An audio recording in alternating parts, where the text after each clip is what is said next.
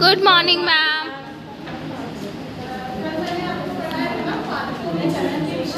yes ma'am sir के पास है। दो प्रकार के। ए सेक्शुअल और सेक्सुअल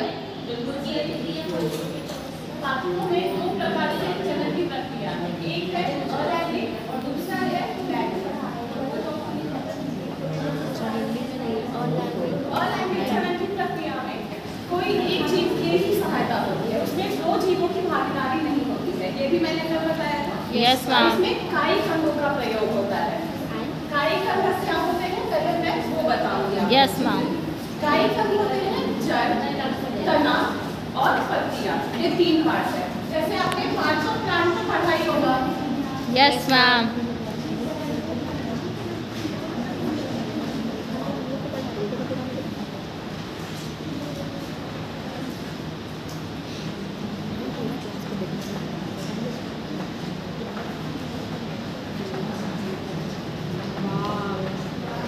Oh, मैम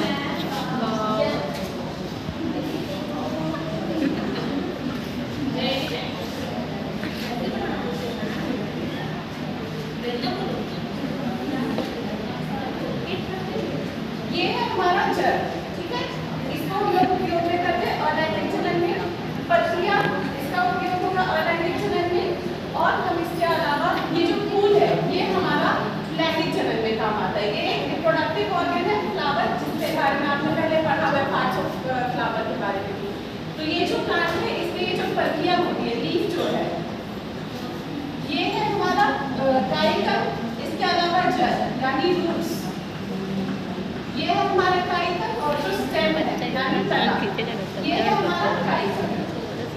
तो इनके प्रयोग से अलैंगिक चलन होगा ठीक है अब मैं आपको दिखाती हूँ ये एक रोज का है रोज प्लांट का मैंने एक स्टेम लाया है जिसमें आपको दिख रहा होगा एक ये नोड है इसका एक ये नोड है ये दो नोड है इसके बीच जो स्पेस है इसको हम इंटर नोड बोलते हैं और यहाँ पे एक छोटी सी आपको दिख रही है कली नहीं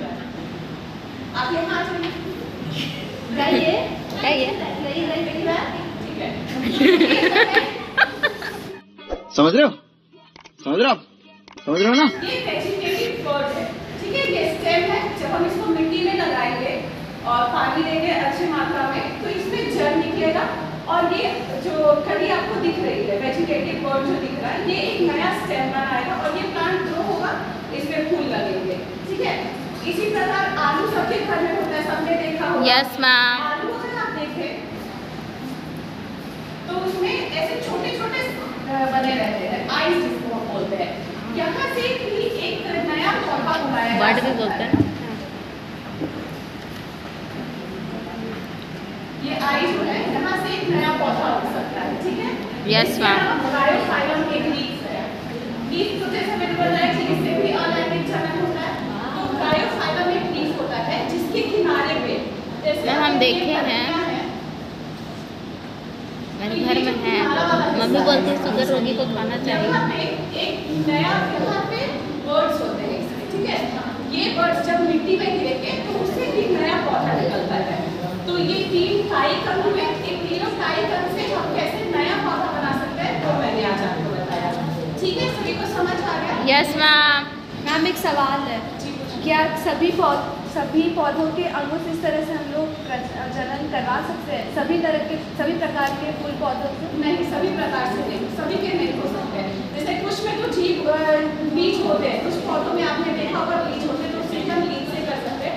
कुछ कुछ प्लांट जिसके बीज नहीं होते हैं जैसे गुलाब उसका बीज आपने कभी देखा है? नो मैम नहीं देखा है। तो उसको हम इस प्रक्रिया से उगा सकते हैं हाँ लेकिन जो काई कंग होते हैं जैसे आम का तो आपने पेड़ देखा है ठीक Yes, है? उसके बीज भी होते हैं।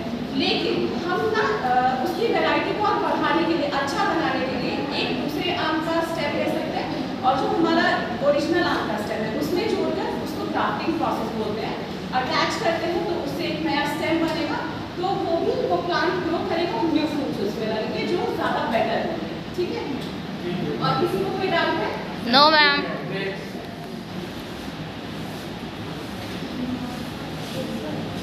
来家人们